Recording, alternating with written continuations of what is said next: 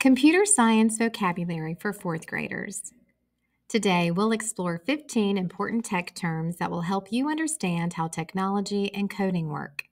Each word is explained with simple examples and visuals to make learning fun. And guess what? There will be a review at the end so you can show off what you've learned. The first word is abstraction. It means making something simpler by showing only the important parts and hiding extra details. When you play a game, you press a button and a character moves. You don't need to know all of the code behind that movement, you just know that pressing the button makes it happen. Abstraction in coding is about focusing on what we need to use and not on every detail of how it works. An algorithm is a step by step list of instructions to solve a problem or complete a task, similar to like a recipe. Binary is a way of counting that uses only two numbers, zeros and ones. A loop is doing something over and over until a condition is met. Debug means finding and fixing mistakes in a program. A condition is a rule that lets a program decide between options, and it often uses if. An event is an action or change that makes something happen in a program. A variable is a placeholder in code that can hold different values, like a name or a number. For example, if you have a variable called score, it can hold different numbers as you play a game. At the beginning, score might be zero, but each time you win points, the number in the score box changes. So variables help programs keep track of important information that can change while the program runs. A sequence is a series of steps that happen in a specific order. Decomposition means breaking a big problem into smaller, easier parts to solve. In coding, decomposition means breaking a big problem into smaller, easier steps. For example, in a game, you might write separate code for moving a character, jumping, and collecting coins.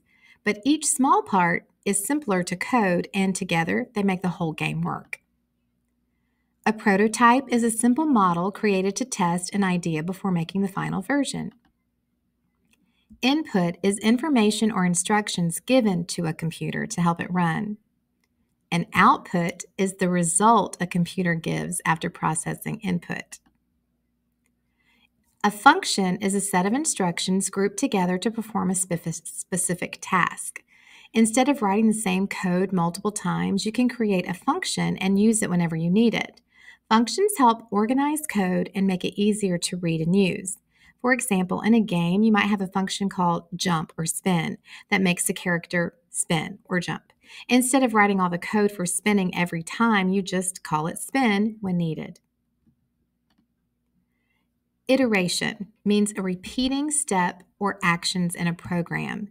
Now, this is similar to a loop, but like this cat is on a loop. It keeps spinning in circles. But each time it makes one turn, that is an iteration. So you count the iterations within the loop. So let's practice. Now that we know some awesome computer science words, let's practice them together. What is a counting system that uses only zeros and ones? Loop, binary, or abstraction? The answer is binary. Finding and fixing mistakes in a program is that prototype, debug, or input. Debug. A placeholder in code that can hold different values like a name or a number. Variable, prototype, or loop. Variable. Breaking down a big problem into smaller parts to make it easier to solve. Is that a variable, abstraction, or decomposition?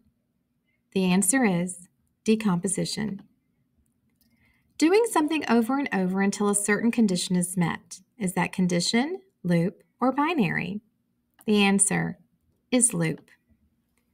Making something simpler by focusing on main parts and leaving out extra details. Is that abstraction, event, or algorithm? The answer is abstraction. A simple model created to test an idea before making the final version. Is that binary, prototype, or variable? The answer is prototype. Information or instructions given to a computer to help it run. Is that input, abstraction, or loop? The answer is input. A set of steps to solve a problem or complete a task, like a recipe. Is that sequence, prototype, or algorithm? The answer algorithm. An action that makes something happen in a program. Event, binary, or decomposition. Event.